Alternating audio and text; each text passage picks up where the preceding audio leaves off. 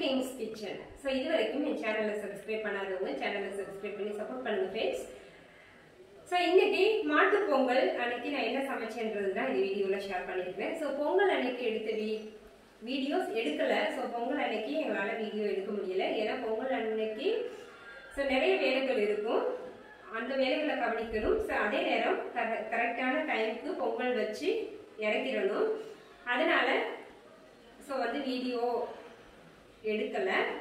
So மாட்டு பொங்கல் அன்னைக்கு நான் என்ன செய்கிறேன் அப்படின்றத இந்த வீடியோவில் ஷேர் பண்ணியிருக்கிறேன். ஓகே ஃப்ரெண்ட்ஸ் ஸோ என்னுடைய சிறிய சேனல் மேலும் வளர நீங்கள் வந்து என்னுடைய சேனல் வந்து சப்போர்ட் பண்ணுங்கள் ஒரு யூடியூப் சேனல் வச்சுருக்கிறது வச்சிருக்கிறது. ஸோ அவ்வளோ சாதாரண விஷயம் கிடையாது. அந்த சேனல் வச்சுருக்கிறவங்களுக்கு தான் தெரியும். ஸோ அது எவ்வளோ கஷ்டம் அப்படின்றது. வீடியோ எடுக்கிறதா இருக்கட்டும் எடிட்டிங் பண்ணுறதா இருக்கட்டும். ஸோ ஒவ்வொரு வியூஸும் ஒவ்வொரு சப்ஸ்கிரைபருக்காகவும் வந்து அவ்வளோ கஷ்ட கஷ்டப்பட வேண்டியிருக்குது. ஸோ அதனால் இது வரைக்கும் என் சேனலை சப்ஸ்கிரைப் பண்ணாதவங்க சப்ஸ்கிரைப் பண்ணி சப்போர்ட் பண்ணுங்கள் ஃப்ரெண்ட்ஸ் ஓகே ஃப்ரெண்ட்ஸ் மட்டன் நல்லா கழுவி எடுத்து வச்சுருக்கிறேன். மஞ்சள் தூள் கல் உப்பு சேர்த்து இஞ்சி பூண்டு பேஸ்ட் ரெண்டு ஸ்பூன் சேர்த்து மட்டன் மூழ்கிற அளவுக்கு மட்டும் தண்ணி சேர்த்து நாலுலேருந்து அஞ்சு விசில் விட்டு இறக்கிடலாம். இப்போது அஞ்சு விசில் வந்துருச்சு. ஸோ இப்போ இறக்கிடலாம். வெங்காயம் தக்காளி எல்லாமே கட் பண்ணி வச்சிடுறேன்.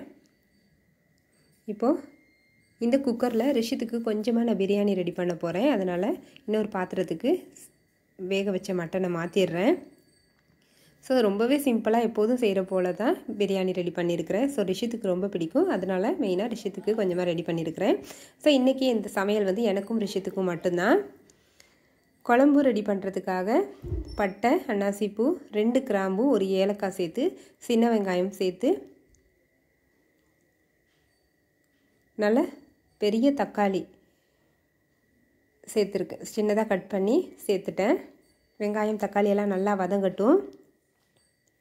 பாருங்கள் ஒரு டீஸ்பூன் அளவு தனி மிளகாய் தூள் ஒன்றரை டீஸ்பூன் அளவு மல்லித்தூள் ரெண்டு டீஸ்பூன் அளவு குழம்பு மசாலா சேர்த்து அரை டீஸ்பூன் அளவு மிளகுத்தூள் எடுத்து வச்சுருக்கிறேன். இஞ்சி பூண்டு பேஸ்ட் ஏற்கனவே சேர்த்து தான் வேக வச்சுருக்குறோம். அதனால் இன்னும் ரெண்டு டீஸ்பூன் அளவு இஞ்சி பூண்டு பேஸ்ட் நல்லா ஃபுல்லாக டீஸ்பூனால் எடுத்து சேர்த்துக்கலாம். சேர்த்து நல்லா இது வதங்கட்டும் கொஞ்சம்.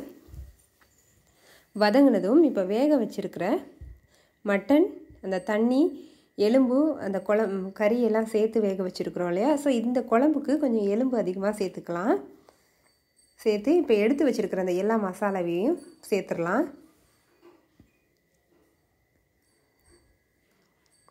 சேர்த்து நல்லா மிக்ஸ் பண்ணி விட்டுலாம் எப்போதுமே தனி கறி வந்து சமைச்சு சாப்பிட்றதுக்கும் எலும்பு கறி சமைச்சு சாப்பிட்றதுக்கும் வந்து டேஸ்ட்டு சூப்பராக இருக்கும். ஸோ இப்போ லாஸ்ட்டாக மல்லி இலை தூவிக்கலாம். பாருங்கள் நல்லா கொதிக்குது. ஸோ இதில் இருக்கிற கொஞ்சம் பீஸ் வந்து எலும்பு இல்லாத தனி கறி பீஸ் எடுத்து வச்சுருக்கிறேன். அதை வந்து வெங்காயம் எல்லாம் சேர்த்து வறுத்து எடுத்துக்கலாம்.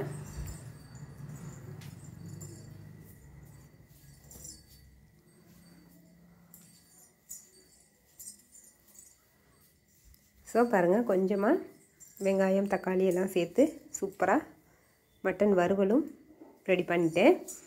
இப்போது எப்போதுமே மாட்டுப்பொங்கல் அன்னைக்கு வடை பாயசம் ஸோ இது எல்லாமே ரெடி பண்ணுவாங்க.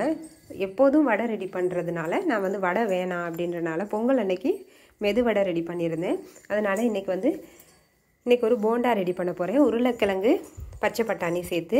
அதனால் வெங்காயம் நல்லா வதங்க விட்டு உருளைக்கிழங்கு பச்சை பட்டாணி சேர்த்து